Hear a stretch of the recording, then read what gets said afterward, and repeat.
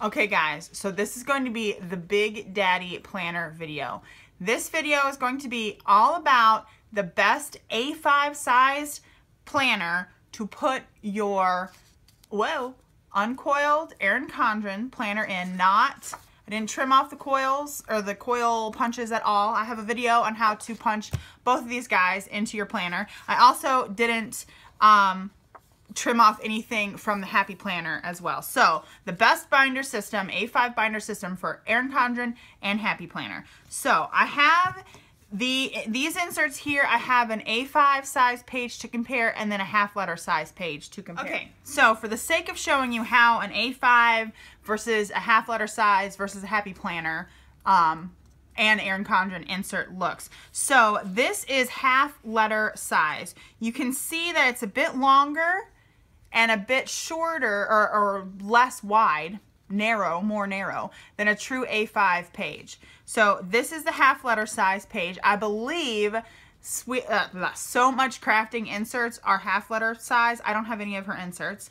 This is a true A5 size here, and this is a Happy Planner page. Also, let's put in all my planner pages are going to get all messed up. My couch is also squeaky. This is the size of an Erin Condren page compared to the Happy Planner in A5. So I'm doing it this way because I want to show you that because the punching area for the coil from the coil is so small, it actually makes the insert stick out a little bit more if you can see that there. And then the Happy Planner inserts are a little bit taller. Now, if I were to take these pages and line them up, they're the exact same width, give or take a hair, but because I have to punch so close to the coil, it sticks this out a little bit more. So, I should do one with a tab to show you here. So, they're about the same, but if we have to line up the holes the actual six ring holes, it's going to put the Erin Condren tab out a little bit farther. So we'll put that in there like that. I'll show you. This is true A5. This is Happy Planner. This is Erin Condren. This is half size, or half letter size. Eight and a half by five and a half. Whatever A5 size is. And I think these are like this one is like 7 by 9 I'm not sure of the uh, exact measurements of this one. I'll leave that down below. So for the sake of comparing the sizes, that's what that is. So I'm going to take these guys out. So I'm going to go over each planner that I have a bit, each A5 planner a bit before I start comparing things or as I start comparing things. So this is the Carpe Diem. This is the shade Aqua. I also have the coral shade. This is what I'm currently using for my Erin Condren insert, so I'm not going to go into that one.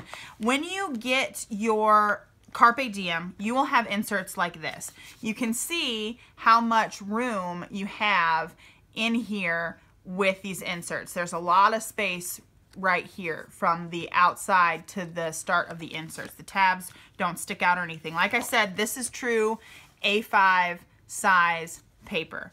So if you order A5 inserts, A5 size inserts, these are A5 size inserts. Half letter size, again, is a little bit narrower and a little bit longer. So you get undated horizontal inserts as well as a monthly view as well as this like dashboard kind of thing. So my favorite binder to keep my Happy Planner or Erin Condren inserts in is the Carpe Diem. So I only have a few months here because I don't want to take everything out. But I will leave the link down below, like I said, to punching in your um, Erin Condren planner into an A5 binder system. If you've seen my current plan with me, you know that I do use the Carpe Diem uh, as my planner or as my binder for my Erin Condren inserts. So I only have May or June through December in here, and that's going to show you how much the tabs stick out. So that's how much the tabs stick out in a Carpe Diem planner for the Erin Condren. You can still close your band, and I actually have all 12 months of the Erin Condren 12-month planner that I have in a, in a Carpe Diem. It fits, the snap still closes fine. There's no strain on the snap. You have a little bit of gap here because we have so few months. So if you want to have a little bit more room maybe to stuff your pockets or something, then you can definitely only punch in a few months at a time. And now for Happy Planner, you can see that the tabs also take up a lot of space. I only have one, two, three, four, five, six months in here.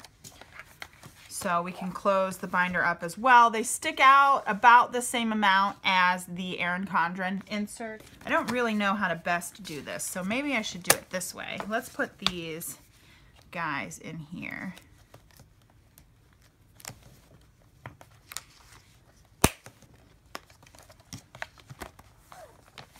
So you can see that they stick out. This is a Mambi tab. They stick out about just as much as the Erin Condren pages. And that's because we punched a little bit farther in. So there's about the same amount of space showing. So that's what the Erin Condren and the Happy Planner inserts look like in a Carpe Diem. I'll show you again how the tabs stick out. So it looks like, looks like that. Get them all straight here. Looks like that. They stick out about the same, the same amount, but your strap can still close. The next binder I want to show you is the Marion, the A5 Marion Smith Heart of Gold planner. This one also has a snap closure. You also get this gorgeous interior here and these beautiful pockets and A5 size inserts. You do get some monthly inserts. You do get some weekly inserts. This paper is ridiculously smooth. You do get some daily inserts, some notes here, as well as gold foiled tabs, uh, a ledger, and pen swatches. So I'm going to take, and beautiful gold rings. I'm going to take this out here. So you can see when it lays flat, you definitely have some room to work like it's not sticking over the edge. However, when we go to close the planner, you're gonna be disappointed. I gotta get all the pages in the middle here because the tabs stick out severely far. Now you can still close this strap. This has one, two, three, four, five, six, seven, eight, nine, ten months in it between the Happy Planner and the carp or the Erin Condren inserts, but the tabs stick out incredibly far. So far that I aesthetically I don't prefer this. I don't think that this is a really nice thing to look at. Um, you know, if you have it open, it's gonna be it's gonna be fine. It'll be nice to look at. But I don't I don't like this binder for this because of how far the tabs stick. You get a pin loop. It isn't elastic. It's like this faux leather stuff. So that's the Marion Smith Heart of Gold planner. The next planner is my first planner ever. It's the Filofax Saffiano um, in Raspberry, I believe. These are super cute and very affordable.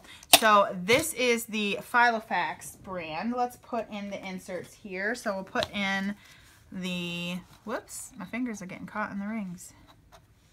The Erin Condren and the Happy Planner inserts. So now I'm hoping you can see that these stick over, the Happy Planner inserts stick over the length or meet just at the top of the length of the planner. These have a little bit more room at the top and the bottom. So let's get the pages together. I keep bending that back page for the Happy Planner. And that is how far the tabs stick out for the Filofax. And I cannot close my snap. Well, yeah, I guess I can. But there's a lot of strain on the snap. You're not going to be able to fit a pin in this pin loop here. And they meet right at the top of the length of the planner. So again, you do have a little bit of room on either side when it's open. These rings are huge, but when you close the planner, the tabs are gonna stick out way too far to even look pretty or even anything. Like it's a big aesthetic thing for me. So I don't like this planner for this either. The next A5 binder is a Color Crush binder. I actually got this off of Blitsy, and I will leave a link down below to Blitsy. It's like a flash sale craft site. Plus, you can get planner supplies on there for really, really cheap. I got this from there. I've got other planners before. I got that Marion Smith Heart of Gold planner from there. Um, so they have deals all the time. So this is the A5 Color Crush planner. I can, I already have some ring dents here. So we will put in the Erin Condren inserts and the Happy Planner inserts. And you can see you have a little bit less space. These tabs go all the way almost to the edge of the binder. The Erin Condren tabs do. I feel like I have more tabs in there. Yeah, let's pull them all straight together. So they almost go all the way to the edge here. You don't have as much room as in the Marion Smith or the uh, Filofax Saffiano. These go all the way to the edge here of the or of the uh, Webster's Pages A5 Color Crush. So I'm going to get all the tabs and inserts together here.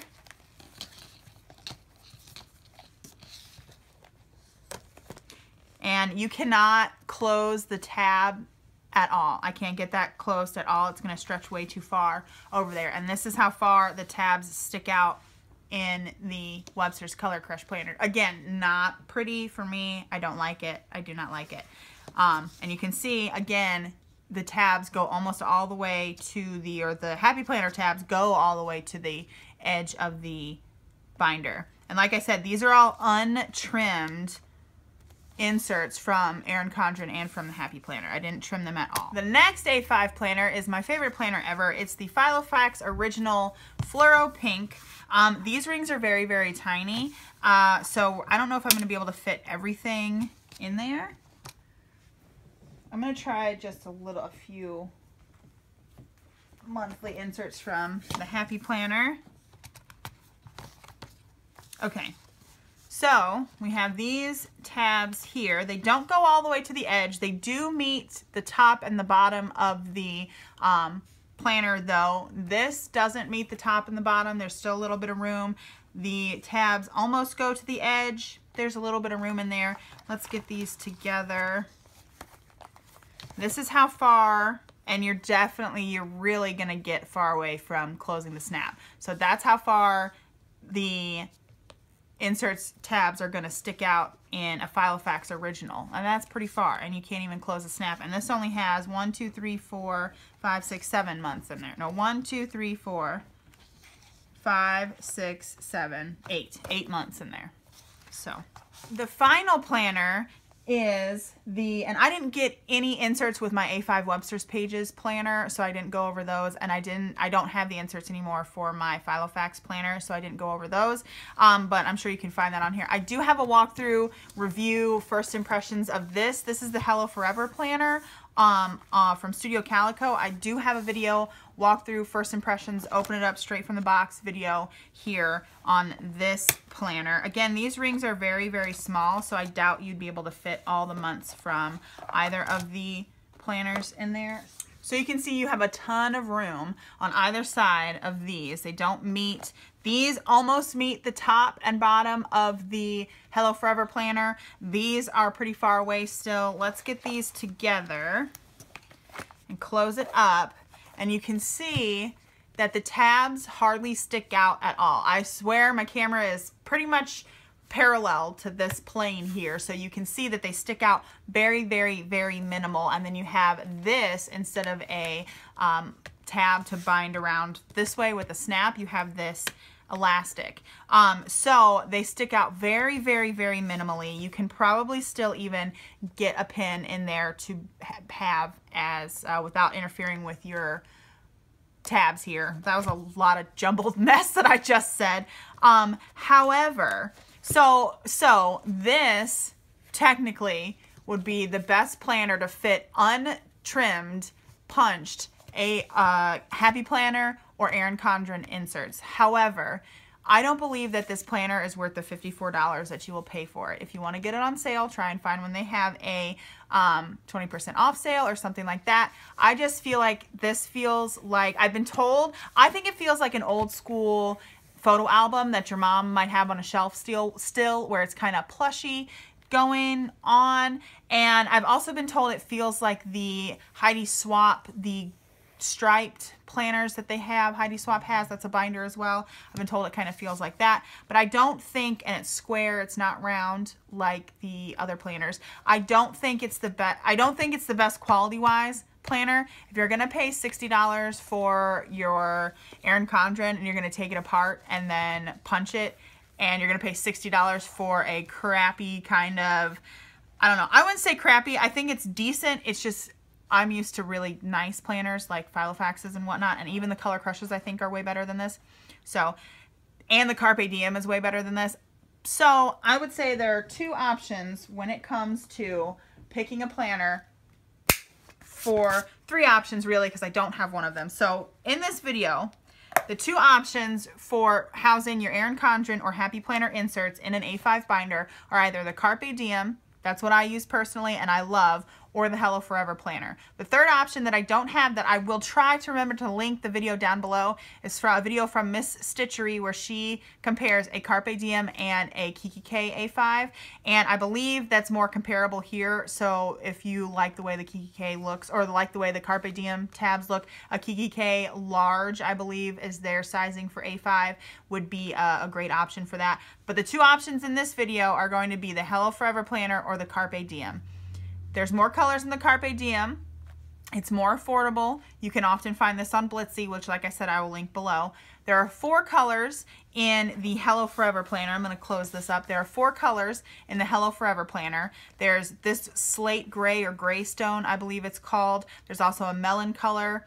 And there's two other colors, one other color. I don't remember. I will leave the link down below for this as well. Um, so these two are my recommendations I recommend the Carpe Diem over the Hello Forever, but I know people can get really particular about the length that the tabs stick out, and the only reason I recommend this one is because they fit absolutely freaking perfectly in there. So I hope you enjoyed this video. If you did, go ahead and give it a big thumbs up. I would love for you to subscribe and check out the rest of my planner videos. I hope that this video was kind of organized for you in a way that made sense. I just wanted to go through the overview of all the planners and how the inserts looked in each planner. Um, I just thought that was really important to do and to show you. Um, somebody's driving really fast down the road. So I hope, like I said, I hope you enjoyed this video. I'll leave my um, social media links here. You can also follow my blog. It's uh, 516thblog.com. And we'll talk to you on my next video. Thanks for watching. Bye.